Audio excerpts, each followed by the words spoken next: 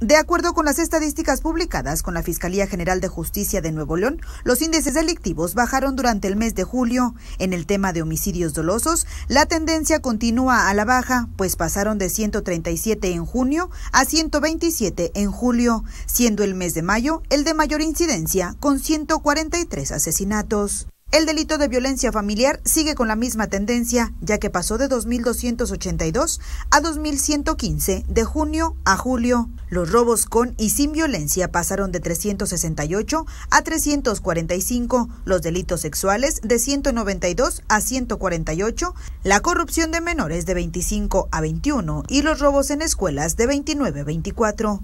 Aunque las cifras registradas en el mes de julio no son las más bajas del año, sí marcan una tendencia a la baja en la mayoría de los rubros. Estrella Gracia Espinosa, Noticias 28.